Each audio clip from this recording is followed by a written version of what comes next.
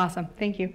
When I was five years old, I received the best gift that any Play Doh loving kid has ever got. I opened the box and found vivid clay. It was modeling clay in primary colors. It was the kind that real artists use. Have you seen that kind? It's amazing. It never ever dries up. And with the clay in my hands, I felt like anything was possible. So the first place I went was to my dollhouse, of course, and I threw away all my dollhouse furniture and remade everything. I remade the couches, I remade the clocks on the wall, even the tiny toilets.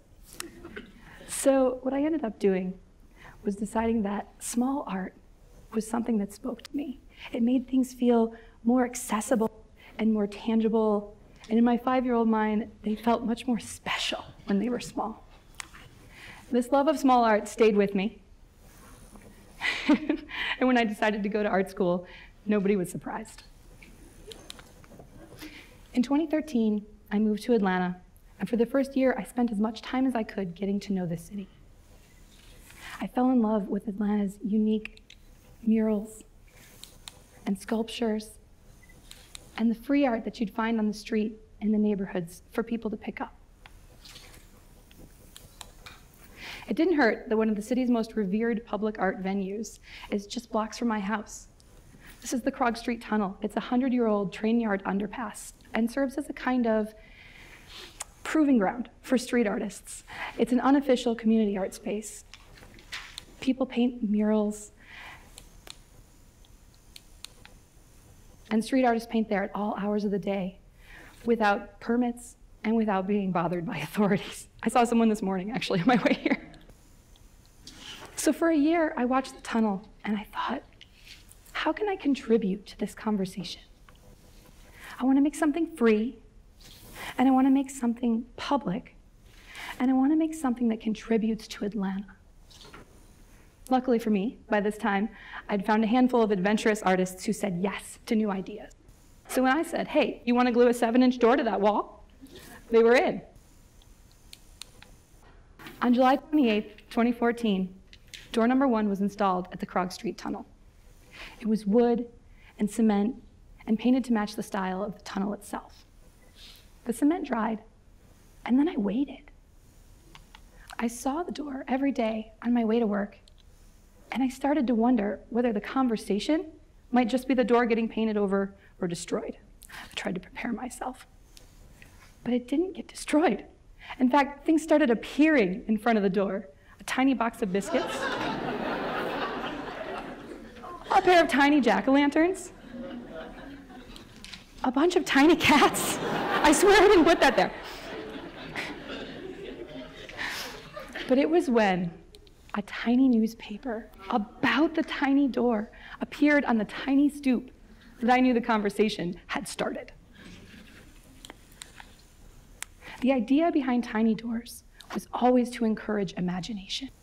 I saw in this big city a desire to stop, to slow down, and to appreciate the moments that can make us feel transported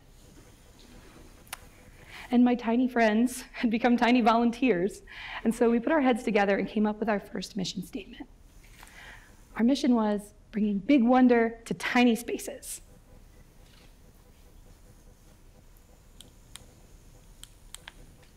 Think about it. a door that's only seven inches tall means that every single person is too big to fit. And if we're all too big to fit, it's a kind of common denominator between adults and children. It means that we all have to use our imagination together. At first, the idea was to make the doors completely anonymously. My first Instagram post said something like, Look at this cool door I found. but by standing back, we were missing out on a key part of the conversation. People didn't need to be told who lived behind the doors. That's why we call it tiny doors. You can decide for yourself who lives there. But maybe hearing from the stewards of the doors, the people who cared for them and tended to them and gave little sneak peeks would help it feel more connected to the community. So we opened a social media account. And not long after that, the account exploded with people posting their shared experience at the doors. And not long after that, journalists began to inquire, you know, for people sized newspapers. and the question I often heard was what's behind the tiny doors? The simple answer, are you ready? is a lot of epoxy. like a lot, like I could write a book on epoxy. But the articles always came back to the role of interactive art and community conversation and wonder. And so a shift started to happen. It wasn't just about bringing big wonder to tiny spaces anymore. This was about tying together communities in Atlanta. In our first year, 20,000 people visited our online map to check out the doors and to find the locations. And so choosing a location for a door became really important. So we decided as a group that we would wait until we were invited to a neighborhood to install a door.